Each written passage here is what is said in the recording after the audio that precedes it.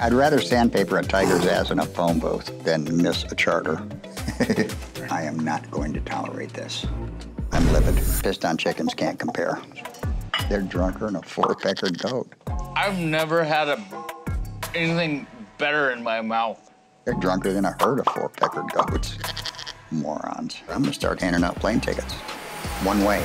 Compliments at Captain Lee's travel agency. This is bullshit. I'm extremely nervous. I'm as nervous as a cat with a long tail in a room full of rocking chairs. Joe, did you know how to get back to your room? I sort of do. Am I following you? Do you? Oh, Hey, your room's down I'm there. going. Mine's down there. Okay.